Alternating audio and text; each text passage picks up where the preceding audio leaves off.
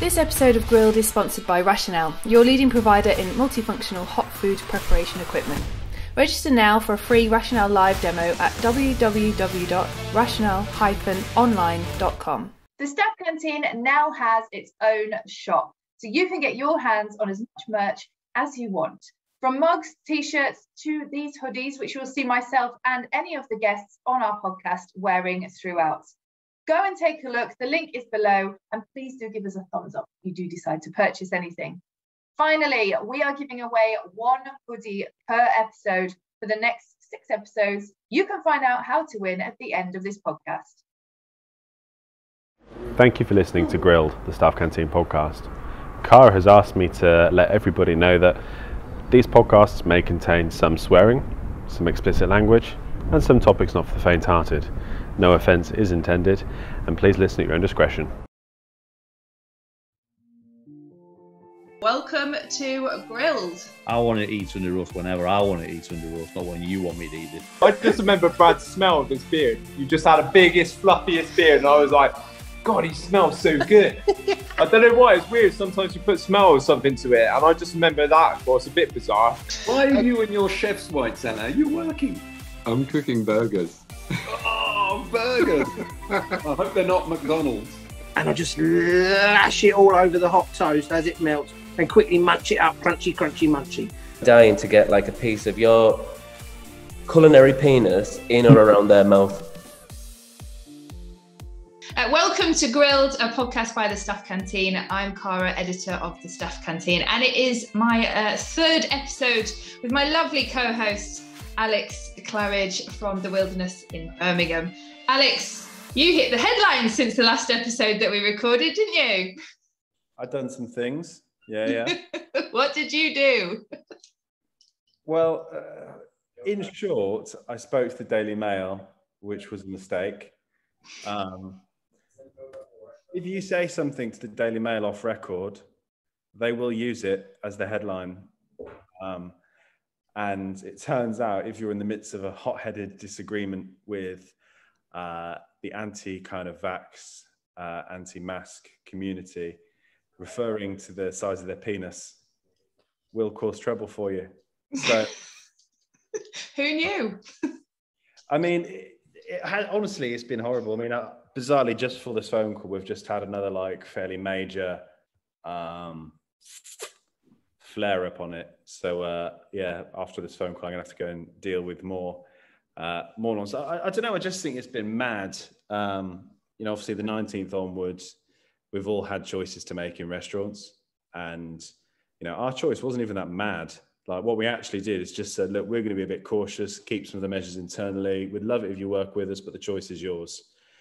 I never thought it would be contentious, but honestly, I've just had like, you know, I've had 500 messages so far threatening to either burn down my house or my restaurant or, um, you know, the one today, uh, someone's very kindly sort of posted a very long review of how I'm a, a fat, disgusting mess, which, you know, given the eating disorders I had when I was 18, hits pretty, uh, pretty well. She's done, she's done a job there.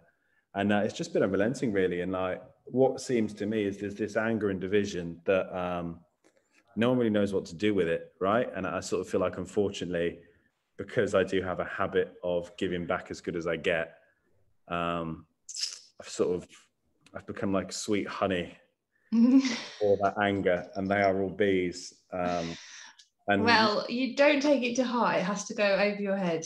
There's people. I think people find it so easy to be mean these days, as opposed to just moving on with stuff that's not related to them. you're dead right. Of course you are. That is the advice. But I think any chef will vouch that however hard you want to sound or however much you want to be like, oh no, yeah, I don't you know, don't give a fuck. Like uh, eventually it hits. You know, once you've gone over like a hundred of them, you kind of just go, it's a lot, you know, it's a lot. And how can you argue with someone who's telling you that Prince Philip isn't dead and is currently based on like an island outside the country, orchestrating a conspiracy campaign to fake COVID? Like you can't argue with that, right? You can't argue with that level of total madness. And, and that's what I'm dealing with. Um, so yeah, this this this is a ray of light. No pressure, Elly, but you're you're um you're the only hope I have of retrieving the day from total ruin. well, let's introduce um, Elly properly, shall we? So, um, why did you want to have Elly on the podcast? Um, tell us a bit about that. Well, I thought I made that clear because I believe Elly can somehow retrieve my mood from the basement. Um, no, I, I think Elly is um, just increasingly someone who kind of I'm hearing about. I've not had the chance to eat at Elly's restaurant yet, but you know, I've got several friends who it's kind of one of their pilgrimage sites for when they go down to that part of the world. You know, to do one professional cookery show, you know, we can forgive that. To do two smacks of madness. Uh, and you know, I, I think everything I've seen and heard for me is this is just someone who's kind of like bang on the money for what hospitality should be, what customers want. Doesn't seem to drag themselves into all this silly like chefs getting in trouble in the press and like you know saying stupid things and offending people. Like you know, it doesn't do that. Just kind of consistently, everything I hear is that you know this is a real talent, just putting her head down and doing her own thing. And you know, when we spoke, I kind of said, look, I I, I don't just want to speak to you know all of our peers who are you know veterans with you know four five michelin stars whatever it is. Um, you know i want to speak to sort of people who i think are the the you know the future right? The future of hospitality. That was kind of our brief. Um, i don't include myself in it. I'm sort of like you know ford fiesta at the back of the lot that you might be able to sell but it's probably not gonna you know not gonna go very far um, so uh, I, I thought well do you know what um, whilst I'd very much love to to be able to kind of get down down south and and uh, you know eat Elly's cooking, and I absolutely will do. In lieu of that, I just thought let's you know let's get Elly on. Let's hear what she has to say for herself. Let's let's understand her journey and see what her take is on this this baffling industry that we all inexplicably keep doing to ourselves. Absolutely. Well, Elly Wentworth, welcome to Grilled. Thank you. Honestly, that was really sweet. It's actually touched me that, especially in these sort of times. Uh, thank you for the jumper as well. Just want to put that out there. Um, the yeah. invoice will be on the way for the jumper. yeah, to be fair, it's actually it is quite nice. Don't sound surprised. no, it's really like I'm not a jumper person, especially down here with this weather. You know, it's boiling hot today, and obviously we're on the seafront, so the sun comes beaming in. Um, yeah, I mean, it was quite surprising that I got asked to do it. Like I've always, I've in lockdown, I was always listening to all of them, Daniel Clifford. Um, to be, and it was like my little hour in the morning listening to the podcasters and like giggling to myself and Chris one. And I mean, I've always liked listening to everybody's stories because everyone has a story to tell, and it's something mm-hmm. that every chef can relate to. And obviously, in lockdown, you know, everyone needed to do something or do a hobby or at least try and keep themselves motivated because for me i've had the most time off i've ever had in my whole career and five months in one time is is pretty it's massive it's a long time like you know the the five months all i was thinking about was what i'm cooking for dinner rather than you know how many covers we got in the restaurant. Right are you both ready for these questions? Not really but let's go. Uh, number between one and six elly. Eight. Yeah someone else who got tripped. Oh no. Between one and six. Oh sorry. Oh five five what's something you think everyone should try at least once? Sea urchin. Okay just straight out of the straight yeah, out of the shell. I don't like it and i won't ever try again but it's something i feel like everyone should try. That's a good one. I am i'm on the same page as you there. Have tried it and didn't like it it wasn't for me. Not my cup of tea. Alex have you had it I've had it a couple of times. I've had it and I've really enjoyed it, and I've had it and I've kind of been underwhelmed. I feel like most things, it's sort of context yeah. and and quality of it. But yeah, I mean, I'd take it or leave it. You know, I'd eat it again, but I wouldn't be like, let's open a sea urchin themed restaurant.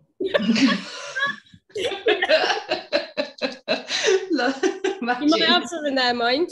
if anyone's listening and they want that, then uh, we'll do that. We'll license it. Right, Alex, give me a number between one and six, not five. Uh, one. Um, if you were stranded on an island, what would you choose to take with you? Oh. I think I've been clear. It'll be a sea urchin. Um, okay, like I'm going to sound bougie as hell here.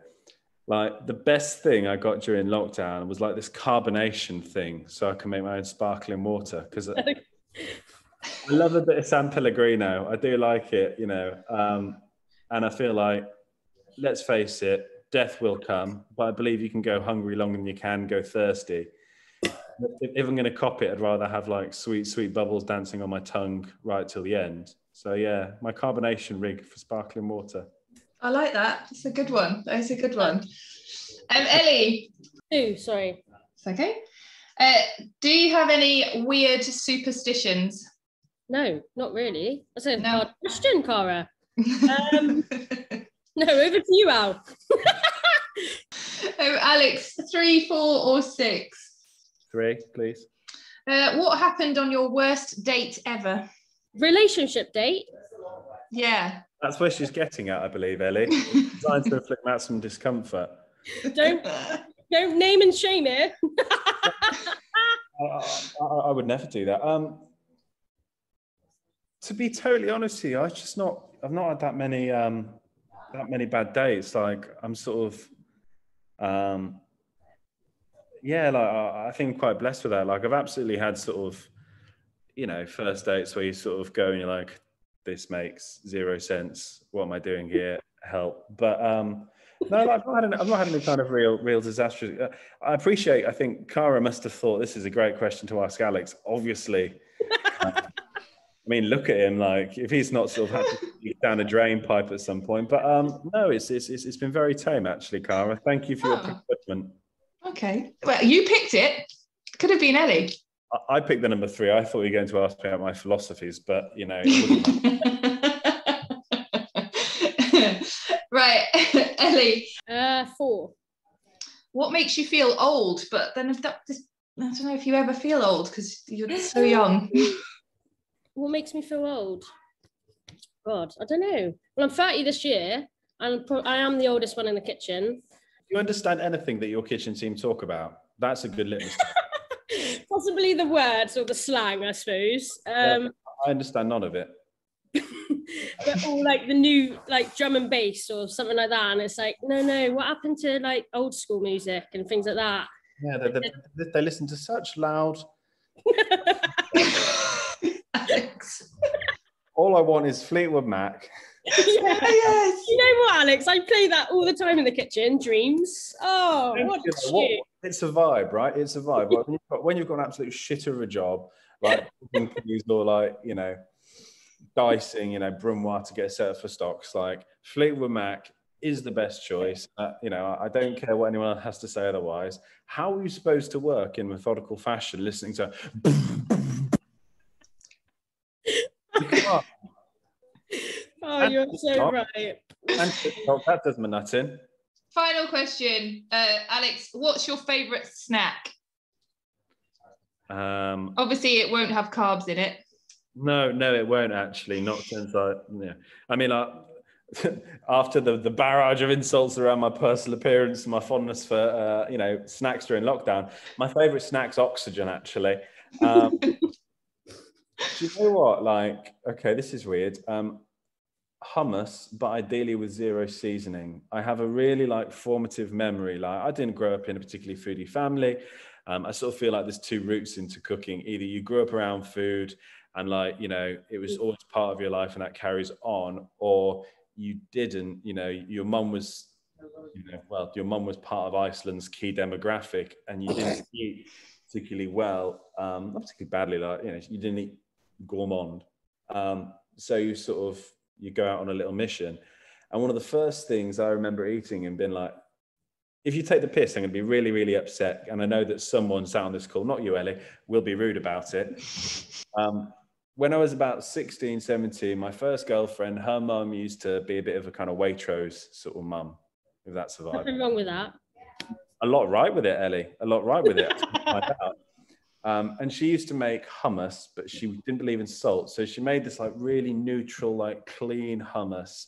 and serve it with those little tiny pita breads that um, that you used to get from like M&S or, or Waitrose and stuff. And like I know it's a really mad thing to fixate on, but like I'm quite obsessive. Like if it answered my superstitions, it'd be a three-hour podcast. like yeah, I remember just how clean it was. I remember like the cleanness of flavor, how kind of neutral and sort of almost sort of like the kind of food you want to eat when you're sick because it's not really got anything happening like without salt, right? Hummus actually is just really, really neutral and bland. Um, but I still that that's kind of like a comfort snack. Like if I'm working, like you know, particularly if I'm like on my laptop or like running the business or doing the admin side, like yeah. So like, did you steal her recipe for the neutral I mean, hummus? like, make hummus, but don't add salt. Is that it? It's just that. It's as simple as that. Load of olive oil in it.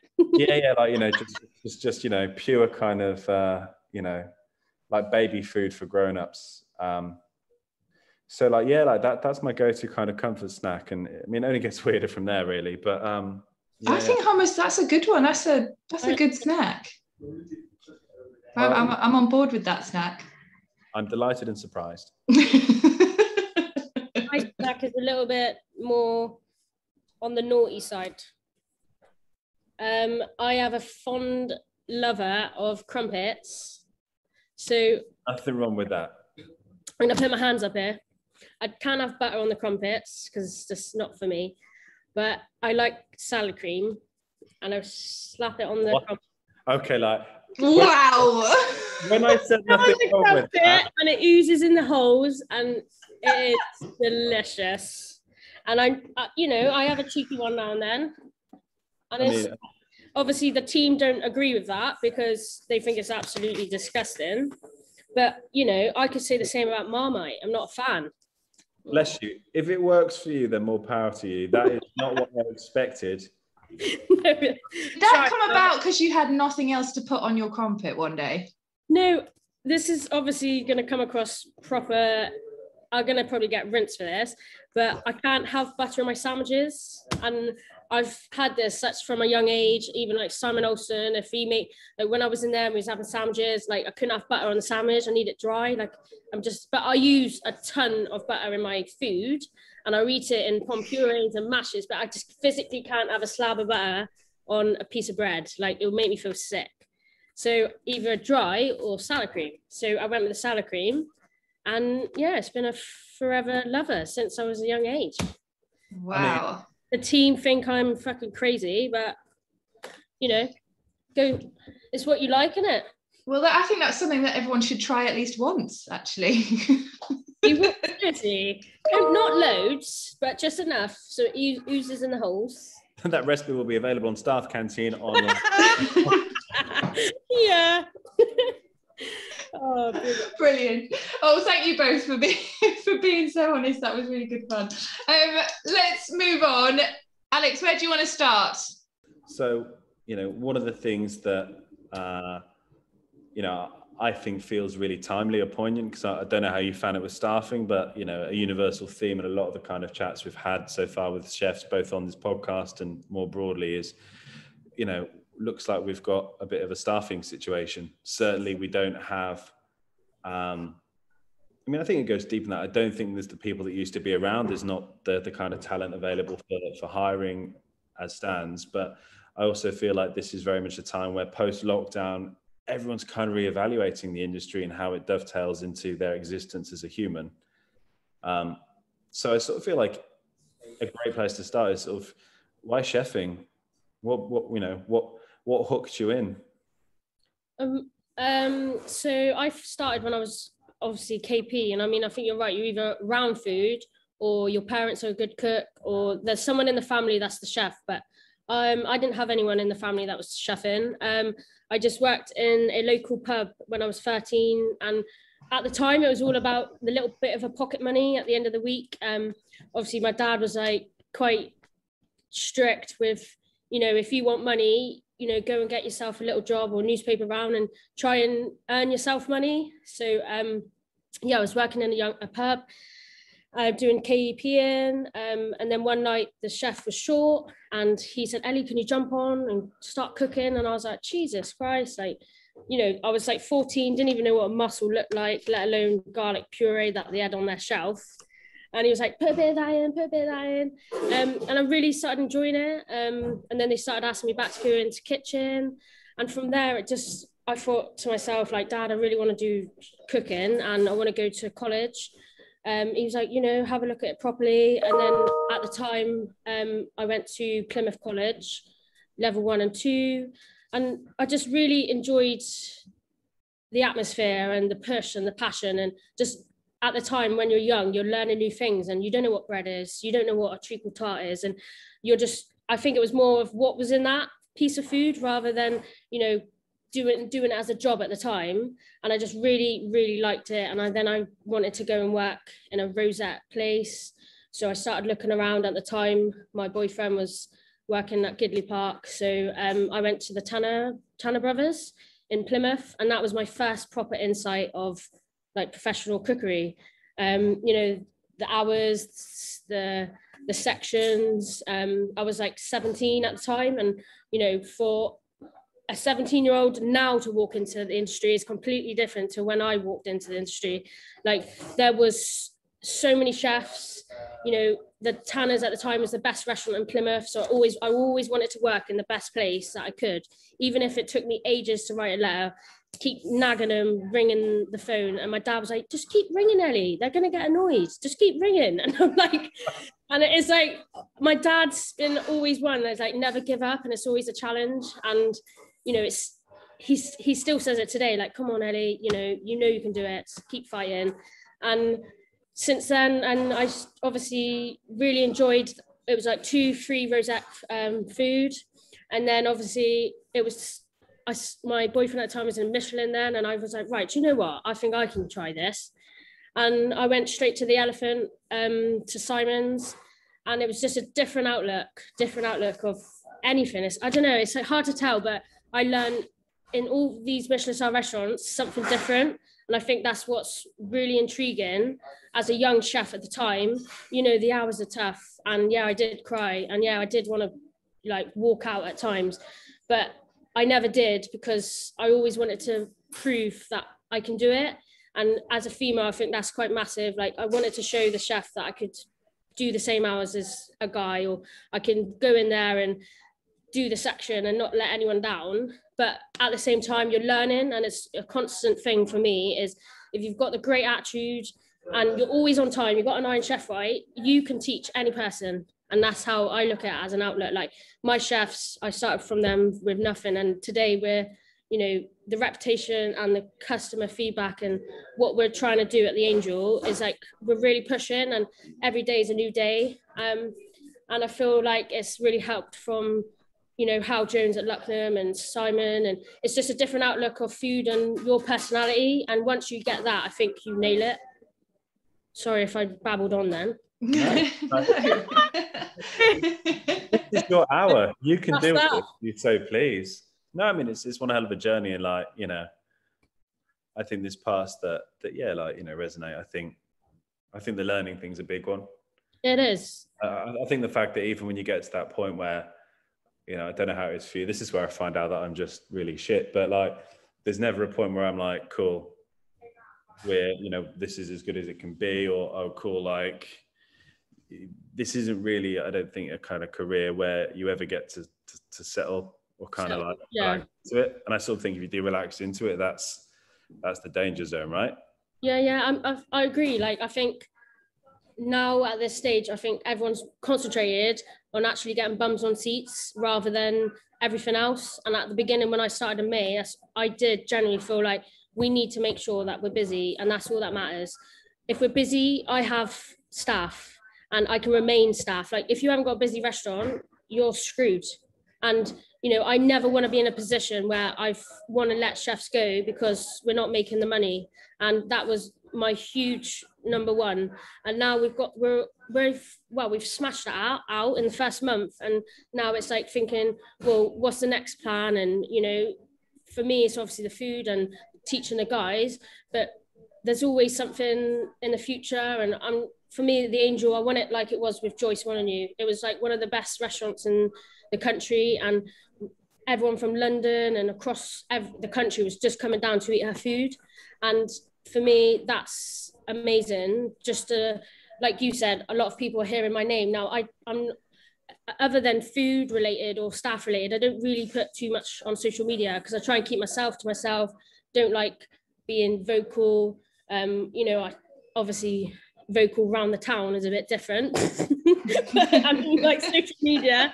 Um, but yeah, like really try and I've got a young team. Um, you know, obviously, unfortunately, um, my head pastry chef did like well, he's had cancer and he's not been with us since December. And it's been really oh, get a bit upset, but it's been really tough. Obviously, he's like the partner in crime. Obviously, I've got four young ones, and then Craig, and obviously Craig passed away yesterday. Um, and yeah, it's just oh, it's getting you know what it's like. It's like trying to build the team back up again, and you know, it's for me. Everyone in there have been with me for three years, and from the start to now, it was I can't even describe. It was so hard. Like I came here and there was like two for dinner, and I'll be ringing my dad. I'll be like, Dad, I think I've made a mistake here. Like I've got two people for dinner. Like what the fuck's going on? And I sort of related to Paul Ainsworth's post he did like two years ago, and he put he did a vid, he did something, and he was saying that him and Emma used to go to the cinema on a Wednesday night because he used to have no one in, and like when he first started at his restaurant, he used to have like two, three, four people, and now he is the busiest man probably in the southwest. And you know, for me, it's like when I first started here, it would be like two people for dinner. I'm not even joking. And I'll be like, this is fucking shit. Like, what have I done? And from there to now, to be fully booked for three and a half months, I feel like we've really succeeded. And obviously, with the help of like Craig and the team, like we're really trying to push. And yeah, it's, it's you know what I'm trying to say. But I feel very lucky to be at the Angel at the moment. I mean, I actually think I mean, I'm going to disagree. I don't think it's luck. I think, I think maybe it's a great platform for you, but I actually think uh, the fact that your team are clearly so important to you, like you know, yeah, even they mean the world to me. You know, when we spoke before the phone call, like you know, the fact that you know you've you've, you've been kind enough to share your time with us when obviously you've had a really really difficult few days. Mm. Like, your concern is always about your team. Your concern is always about your team and like i don't know like for me that's one of the kind of commonalities with i think you know a lot of kind of folks who are forgive the expression because I, I, sort of think like it's bollocks but we'll use it because i don't know a better one like kind of on the way up right or sort of like you know like that crescendo of their, their journey like I mean, I don't know where they're on the way up to. I don't know what the goal is. Surely the goal is just to do good food and be happy. But, you know, there is this kind of modernity. And I don't think it's good look. I think it's, you know, it's the fact that you know you maybe with your dad behind you going come on come on have it you know? Yeah. determination and sort of like remembering that it's it's sort of without a team. Yeah.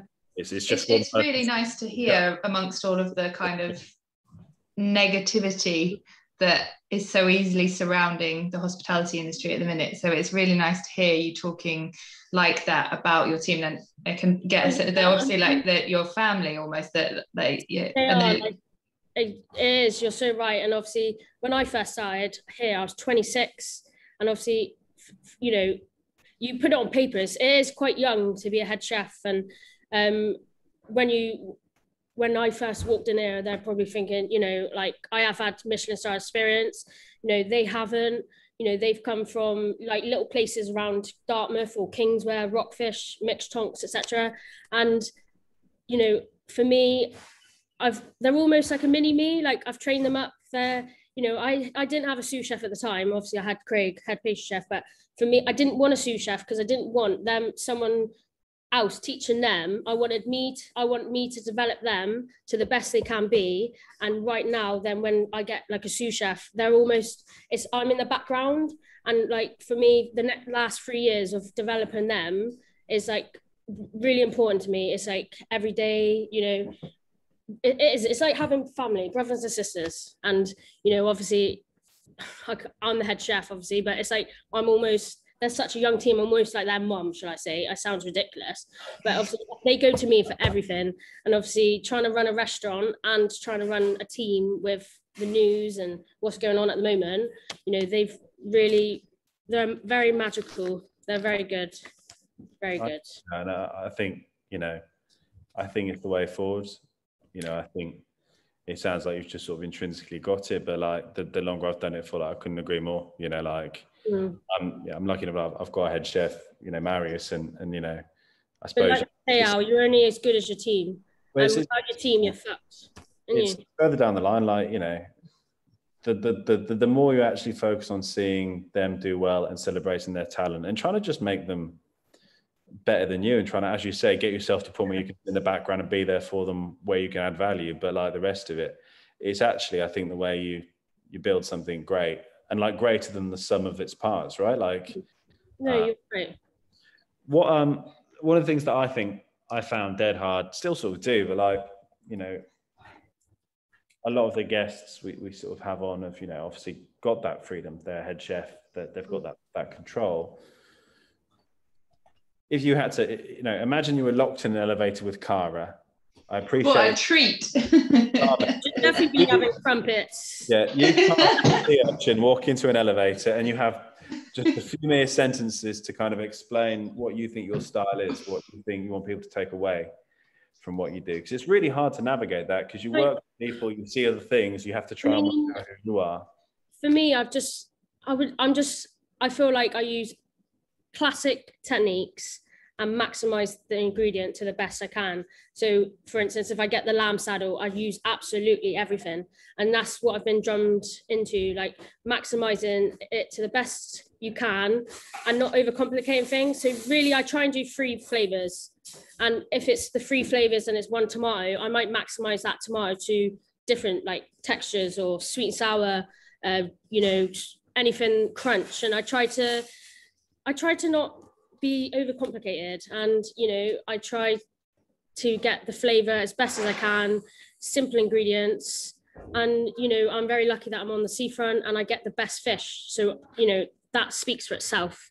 And I get the the best uh, Creedy Carver duck which is around the corner. And everything is comes to me every single day. And I'm lucky that I can just turn the fish within a day because of how busy and how local everything comes. I get lobsters potting literally on the front here and they just come into the restaurant and I got lobsters straight away. It's like I'm very lucky to have the best produce and you know using just simple ingredients. Obviously, Birmingham's got a pretty good coastline. Um, but yeah, like being able to cook sort of that closely with sort of the fish, like, you know, Yeah, it's amazing. it'd be amazing.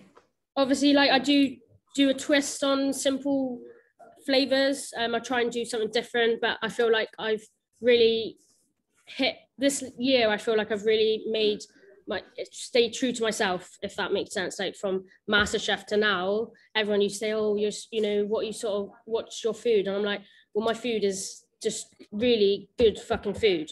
Like just maximizing the best i can. And with the knowledge and the skills that i've learned you know, using that, like using what you've drained out of the three Michelin star chefs. Like, it's all I used to do, ask questions, even if it's a stupid one. I just used to drain the knowledge because when you are to where you are today, that's what you need. And they and my four chefs do the same to me.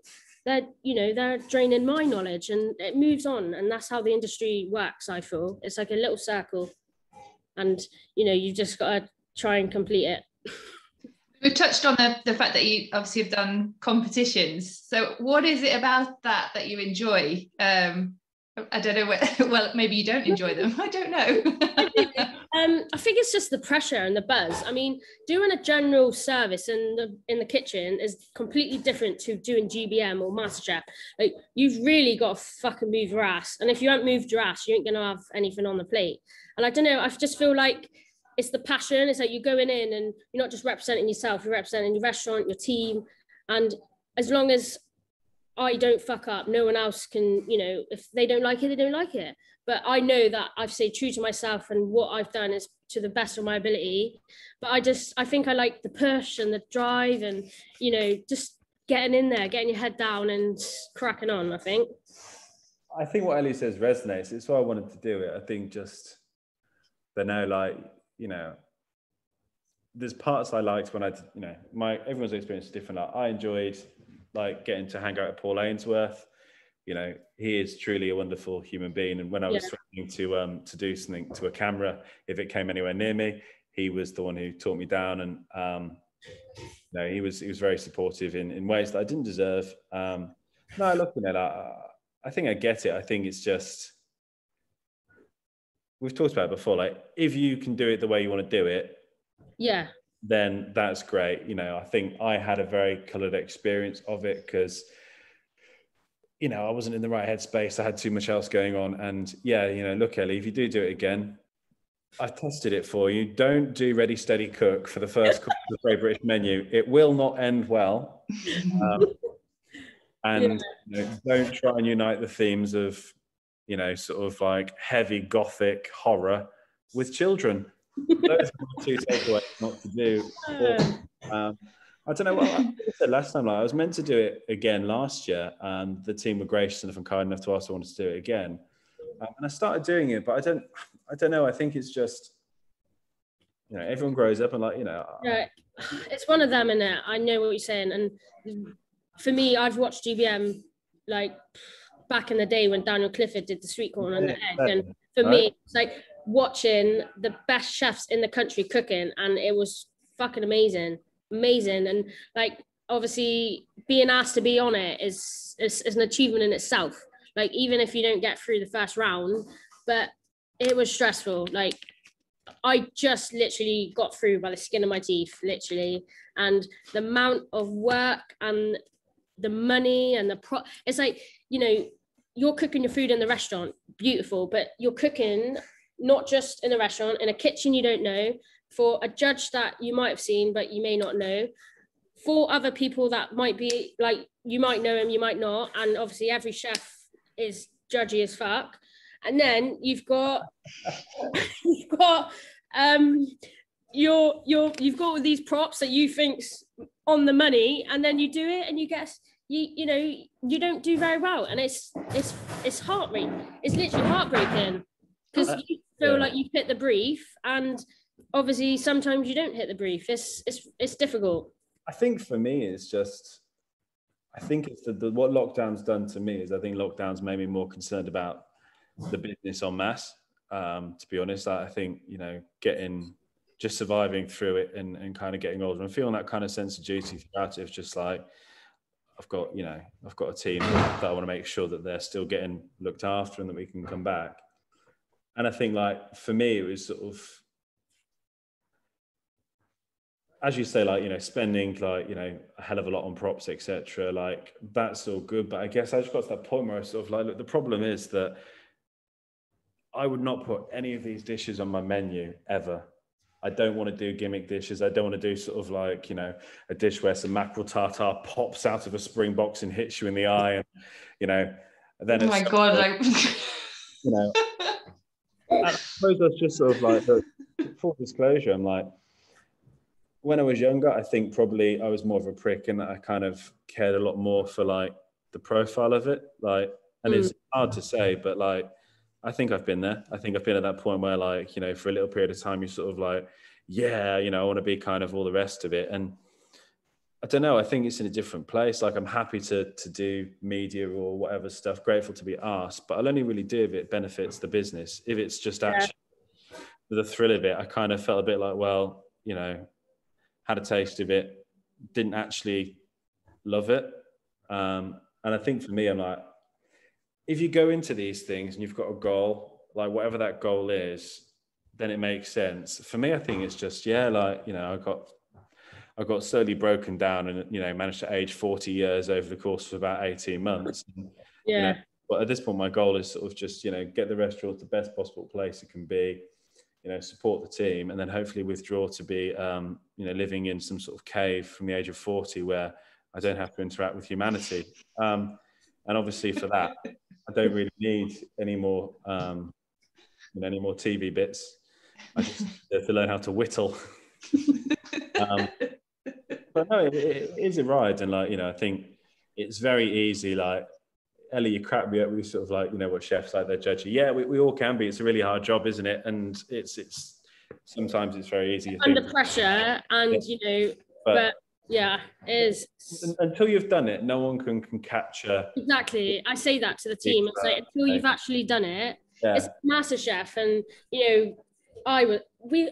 I'll be honest. I've said, it and then you're like, what the hell was that guy doing last night to that thing, or that bloody uh um. Well, you know the skills test, and you're like, oh my god, blah blah. But until you're actually in that room and you've got ten cameras looking at you, and you're sweating, literally like, oh my fucking god, like I can't even make a fucking tart here. Like, the, the microphone corsets as well. You know, like be Yeah. normal. and then the Like, back cameramen are like, "Are you okay?" And I'm like, "No, I'm not." No, it's, it's, it's unique. I did enjoy GBM. Like I did really. It's completely different. Um, I think I was lucky that I did camera work before, so I knew what I was expecting. I knew that there was going to be loads of cameras in my face, and you know, but Yeah.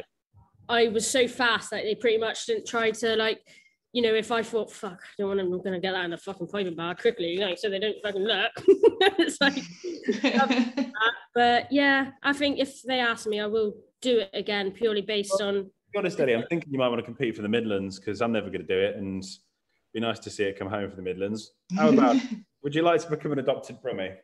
yeah, I'll come up and be a sous chef. I'll be your kitchen porter, mate. Like honestly, I'm, I'm all groovy. I'll just sit in the background polishing things. I found my comfort level for this. Um, Elly, we touched briefly on of staff, and you said obviously having the shortage of staff. Um, so I just want to know what your point of view on it is. How do we attract more? I want to say young people, but just more people back mean- into hospitality. Do you think? It is a tough one. Um, sort of, I've joined up with HIT training. Um, I've never worked. I never known about HIT training until I came here. Um, it's almost it's a course, and you can be on this course any age up to ninety nine, which is quite weird. Um, but basically, I up with the with the company, and we looked for two young chefs. It doesn't like it didn't matter how old you were, um, and we got. Well, I'm lucky that I got two. Um, I mean, it's, it's such a difficult question, but I feel like COVID really hasn't helped, and most of my friends, you know, have messaged me. They've stopped being a chef because they had more money doing delivering or I don't know, helping their friends do something else. And I feel like not many people are attracted to our lifestyle. Now, to be in our lifestyle, it's it's either you, it's a passion, it's a love, and you really want to do what you're doing and achieve the goal that you're wanting to achieve. Um, but I don't know. I have been lucky. I've really attracted like young females, like from colleges, and I don't know. Maybe it's something because they've seen me on telly or they've seen the restaurant, or you know, I try to advertise as much as I can. Um, but I don't know. It is a difficult one. I feel like there is less chefs out there and a lot less women. Um, I just that, think that, that- that's an elephant in the room that like I'm not equipped to to comment. Like you know, I've, I've been very lucky to have some really really talented women, Women. kitchen and some really talented men. But like you know, Louisa Ellis, who was um, Oh, yeah, great. You know, Lou was you know, Lou was an alumni and like you know, super talented. Like Poppy, who's now like a massive multinational TikTok star. Like Poppy, Yeah, Pops was with us and she was amazing. You know, so many like Den, Chloe has just opened a restaurant here. So I kind of I know it exists, but I think like yeah, elephant in the room. Like it is it is hard to. I'm so sorry. I'm going to have to go and kill a small dog. um, you know, it, it's definitely a problem. I sort of think like you know it was it was luck versus judgment. I do think it sort of helped once we had a couple of sort of you know um, you know colleagues who, who were women. I guess that's the whole point of having a more diverse kitchen. That if you've got more diversity, people feel like they can belong there more. Yeah, but join, you know, what why do you think as a sector like we have struggled to not just be basically a massive sausage fest? I'm using the lingo here. Yeah. but- I mean, as a young female, I just I joined in. I, I fell into it. I it wasn't probably something I was going to pick when I was at college. I didn't even do food at college or school. Like I just fell into it because I was working in a, a pub, and it was something that you know. Oh, I actually really like to cook it. Maybe it's something I want to do. And then you know, I'm quite I'm sort of quite strict on myself anyway. Like I just want to be the best I can, and I keep wanting to improve and improve and improve. And like when I was younger, and I say it to the guys, um, this if I was 17, 18, or 19, and I would look at my sous chef at the time, I'd be like, right, when I'm your age, when I'm their age, I want to be better.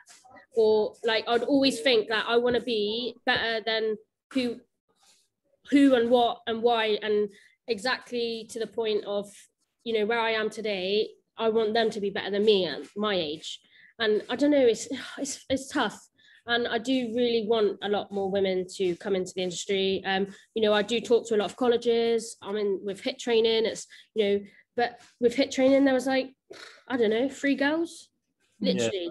Yeah. and I feel like uh, when you're 16 I feel like most young girls want to go out partying or they want to go and do other things. And i just don't think our hospital like the industry isn't appealing to a young girl or lady or even a gentleman because of what's going on over social medias. Like social media is a big thing and they're like mm, no if i want saturday i want saturday night off to go to my party or something. And you can't have a saturday night off. You can't. Like you know you're working and sometimes the hours don't attract people. Like you know for me it's not about the hours. Like you know if you got to work it you got to work it. But as a young person i don't feel like that's an appealing. And you know you're trying to really push I, I don't know what do you think al? It's the same it's a difficult one but i think it's, I, th- I think it's incredibly complicated. I think it's short term really problematic for us to come yeah. out of COVID and then be dealing with like, well, for no us dealing with Brexit, no staff. Yeah. More aware than ever that perhaps the cost and reward doesn't quite tally up in the way that it should. So I think like it's, it's really hard short term. I mean, we've kind of used it to go on a bit of a sort of crusade to try and future proof. So we've gone through, we've done, we've done a pay review, we've given everyone in the company a yeah, ride. Exactly. Yep. Um, kind of now just navigating through like private healthcare, dental, um, and kind of really tracking the hours to try and work out what it is. I, I think there will always be a conflict that to do the food at no, any level yeah. that I would want to do, like the hours, I just I think the hours is just the hours a little bit. Um, you know, I think if you want to charge like seven hundred pound a head, we can have double teams and do like three days on, three off. But exactly. uh, you know, for all the consumers who want to see us be progressive, I'm not certain they're yet willing to commit economically. Um, but I think there's all that going on, uh, and I do think as well like this. I don't think it's a positive long term for the industry. Maybe some of these uncomfortable conversations around like, but what are we doing for our teams? You know, what are the habits that are like perhaps pretty fucking shitty that you know are, somehow normalized under sort of yeah. the it is what it is, and you know all this sort of stuff that when you're going through kitchens you sort of you hear and you know like you believe it as well right like for years for years i genuinely like i'd listen to the expression of oh it is what it is and i'd be like oh it must be that's the saying. And then i came back from covid and i'd be like well why does it have to be that way? Like why don't we rip it apart and see how it can fit differently? Um, so teddy you're going in a casserole behave. You know so I, I think it's a long hard fight. Um, yeah. Think it's a lot around talking to young people in the industry and asking what kind of appeal to them, but also what sort of scares them. Um, I think it also probably is on all of us to kind of really check our shit a little bit and kind of perhaps ask difficult questions and, and do something with it. But yeah, you're right. I, I think change is positive, right? You know, I'd love to see kitchens as, you know, my biggest bugbear. So I've got a real chip on my shoulder because um, I came into cooking in a bit of a funky way, and as much as I was, uh, I cooked a bit at university, sort of enjoyed it. Um, I then took a job as, a, as an accountant for a like massive corporate firm, um, and I lasted just over a year, and I was like, I can't do this. At least you can add up. well, you know, I can identify a number between one and six, so there's that. oh yeah, shit. Um, but you know, like I think I've got a chip on my shoulder because you know I remember I I, I literally felt like shit because when I when I kind of quit when I quit um that job like nobody supported it man like my parents sort of tried to but you could see their total malcomprehension why you'd walk away from like suit and tie office job. Maybe you get to drive a nice Peugeot on company. Like I don't know.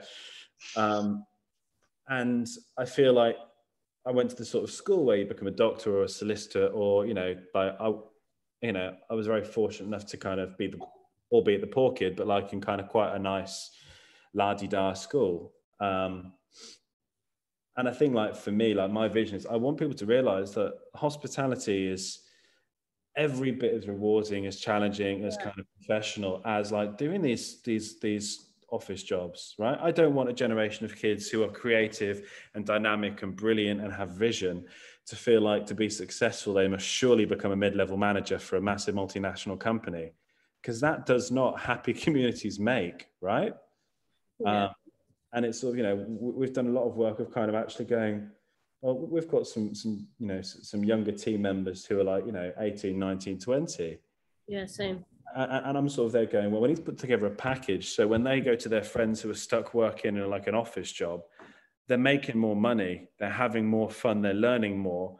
So we can start to tie that, like you know, like mm. whenever that, you know that that floppy head twat in power said, oh, you know, it's low skilled labor, like it's not, man. Like I'm telling you now, like yeah. working as an accountant was easier than working as a commis, right? it's it's so far from it and i kind of feel like if overall we're now on a trajectory where we're going to kind of actually make this industry something where kind of people take us seriously because i think that's it you know i think we've been shown a lot of times real contempt from the government you know um, even in the last year let's face it they're, they're like could we open up because we're actually very safe and secure oh afraid not you've opened up like a 2000 person retail shop no. Well, that's different because the clothes can't catch COVID. Yeah, I know that, but you know, it is contempt, um, and I feel like there is some real pain to come if we want to, you know, create real structural change. Um, but like, I think the outcome could be worth it. Yeah, I know. Um, but I mean, in short, I haven't got an easy fix. Um, yeah. I just, you know, I just keep asking you all with the hope that someone will go, well, actually. this is like, how we do it. yeah, it's like Dartmouth's so seasonal, and yeah. the the summer we are rammed, like literally rammed. Um, of, and in the winter it sort of dies off, but we're actually getting that balance where it's the same sort of all year round now. Um, but in the summer we, well, technically Monday, Tuesday we're closed, so Monday they have off, but today we're in because we've got to do prep because we're like obviously chef two chefs down so they've constantly been working six days a week till September. But it, it's such a difficult thing, you know. It's either like you need to try and make the restaurant as successful as you can, and then awards come. So, like when we first joined, they all had a pay rise. Um, in the winter, we have three days off a week um, till next February.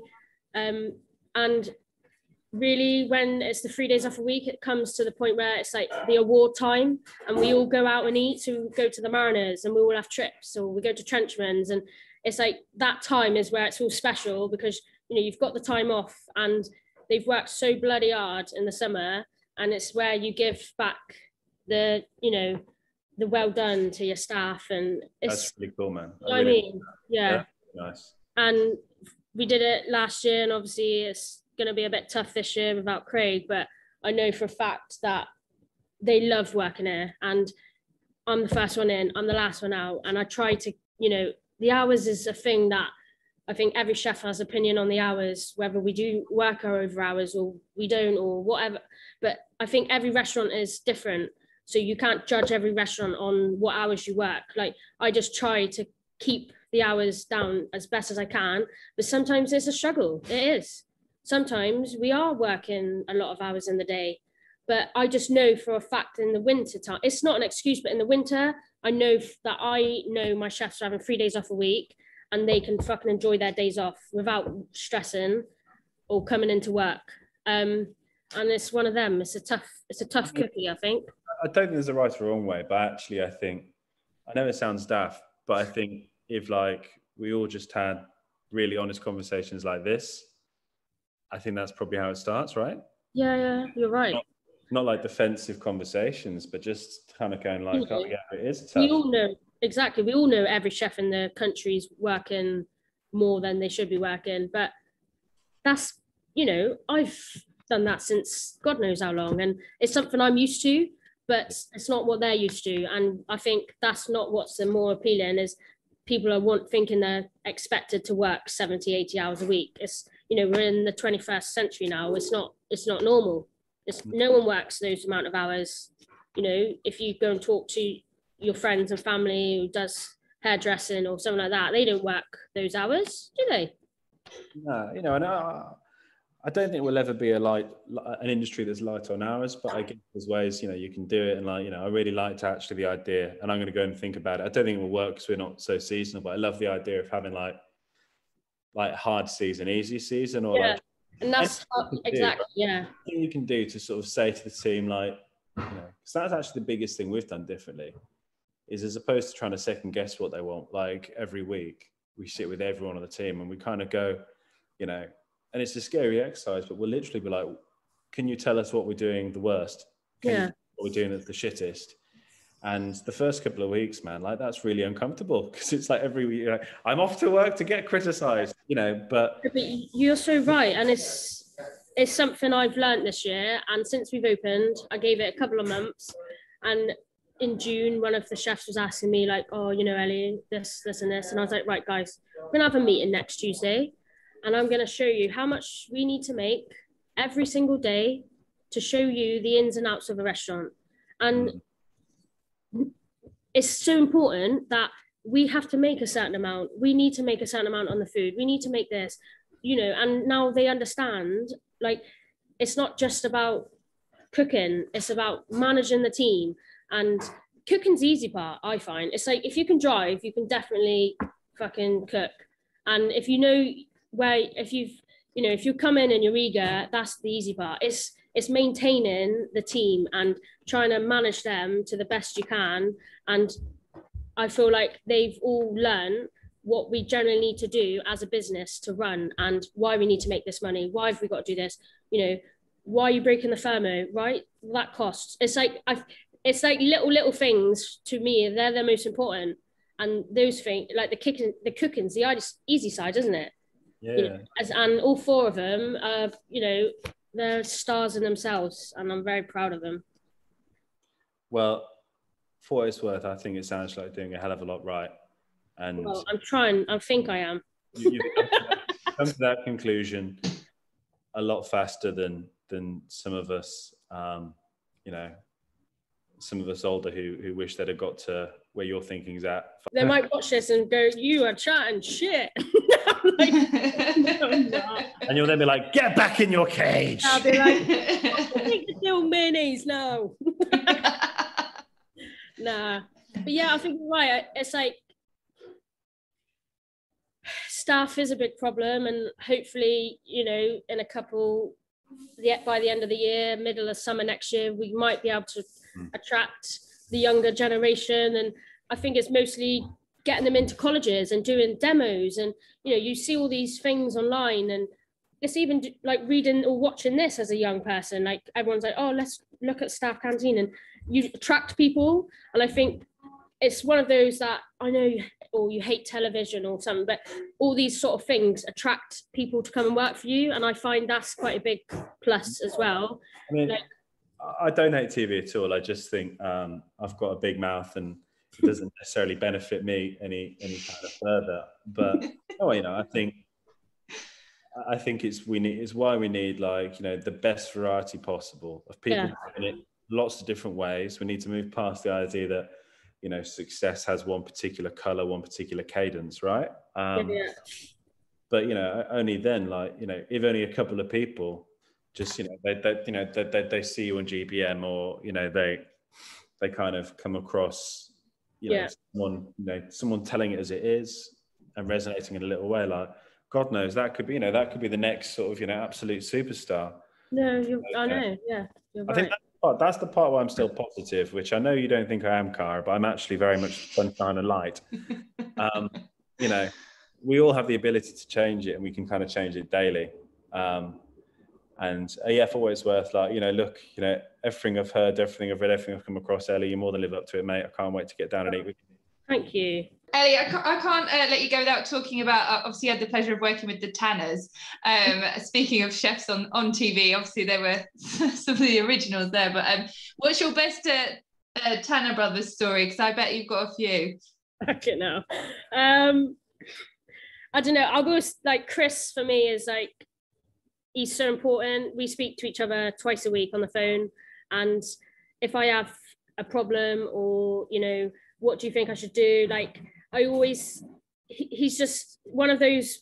He's so relaxed, and you know we'll we'll be on the phone on a Saturday night till half like half twelve, quarter to one in the night, just chatting pure shit. Fucking hell, Eddie, I've had you know push up like no chefs or I don't know. It's just a joy to hear that it's not just you in in trouble. Like everyone's experiencing it, and there is tough things. But um, Chris is like one of those chefs. Like you just if you're in the shit, you just bring him up and he cheers you up, and that's been pretty much the last month, to be fair. But um, yeah, so I started Chris and James when oh god when I was 17 16 something like that and we was I was on pastry and um I it was a afternoon and we all we all had like I don't know an hour split at two hour split so I go off home and I put the heating on because it was fucking freezing that day literally pissing down with rain so I thought well I put the heater on and I ended up falling asleep so I woke up and I was like quite blasé. I was like, oh yeah, whatever. And I had a voicemail and I was like, oh, what the fuck's a voicemail? And I was like, it's like, hello Elly, uh, this is Chris, your boss. Um, you're actually an hour late. Where are you? And I'm like, fuck, fuck. So I've overslept. I go running into work, fucking quarter to eight, and all of them are clapping like this on the path. Wee, wee. and like Chris has set me up, and literally I walk in, and Chris is like, you know, Elly. He's just like, I said, oh, I'm so sorry. And he set me up. I literally, he didn't even sh- like shout because he, found, he thought it was hilarious because you could see that, like, I must have had pillow or something, like pillow or some sort of sofa mark on my face. And I thought, I'm going to get the sack. I'm going to get the sack. I've only worked there like three months. And I was like, ringing my dad. I was like, Dad, I'm going to get the sack. I've just, I'm late. And I was, the thing is, I was more fucking shit at it. I was going to be like, losing my job than him. And there was like all of them. There's like ten of them. Like, woo, get it. and literally, I walk into the kitchen and they're halfway through service. And it's like Chris is like, right, I've set you up now. Come on, push on cue. And uh, that's about it, really. But yeah, like I do pub in the park with them or like anything. They they obviously have Kentish Hare up there. Um, but yeah, we you know we're just really good friends now. Obviously, he was my mentor at the time, but we've just become like really close and whatever we can do to support each other like you know we try and do that but not any naughty ones really they are they're good they're really really nice pair. I do enjoy bumping into them. They're always good fun. They're always up for a laugh and they always have a good story. So i just that's why i wanted to just have a Yeah. quick chat with you about them as well. Um final question elly. What's what's next for you? Because you're obviously very driven throughout this. I've definitely got that from you. You've focused you know what you want. You want to be the best at what you do. What what's the, Um, the next kind of challenge for you? I mean still doing what we do best and i love you know looking after the customers and maintaining that um happy atmosphere in the restaurant but you know really i would my aim is to like get the restaurant back to what it used to be and there used to be a cookery school next to the restaurant when john Burton-Race had it he had a restaurant on the bottom which i'm in now um restaurant on the top and then the top floor used to be a cookery school now Okay. me, I've done, I've sort of, I know that quite well because we, I used to do it at Lucknam Park with Hywel and, you know, teach people. And I feel like there's a good um, customer base here in Dartmouth for that. And I feel like people really do like to learn how to cook. And for me, I would like to have um, my own cookery school at the top. Um, maybe a bar underneath, but that's like long term plan. But for now, it's just like maintaining the restaurant, being busy, um, you know, accolades coming along the way, and just having a general good time. And you know, coming to work and being proud of what I've done, and you know, the team. It's just one of those, really. Yeah, well, I have no doubt that you will achieve everything that you set your mind to. Um, but uh, thank you so much for for doing the podcast today. I've really enjoyed it. Um, it's been an absolute pleasure. It's been really good fun. Sorry, I'm on mute. This is the rain. Thank you for inviting me, Alex. You're very welcome. Um, I will be down to see you if we ever Yeah, resolve something crisis. Um, so I can be off. But yeah, like keep doing what you do, man. It's such an There is something I do need to admit. Um, we was all laughing and joking earlier because I was telling everyone I was doing this, and they said, "Oh, who's Alex?" I said, "Oh, I'll go on his Instagram." So I was like going on his Instagram. I was like, "Well, this is what he does." I said, "His food is nothing like mine," and I said, "Look at his banana photo," and they're all fucking pissing themselves because I was showing them a photo, and obviously because I was on your Instagram, I ended up liking your photo, and I was like, "Oh, fucking hell, guys!" I said, "Uh, "He's gonna think I'm stalking him now, for fuck's sake." I I didn't until you said that. so if you see any liking photos, it's just the team. We're still having a little stalk Just, on your profile. Stalk. That's we'll allow it. We'll allow. it. Right. Thank you both very much. Um, I'll, Alex, I'll speak to you soon. Elly, good luck with everything, and Thank hopefully I'll catch up with you soon as well. Thank you. Yeah, cheers.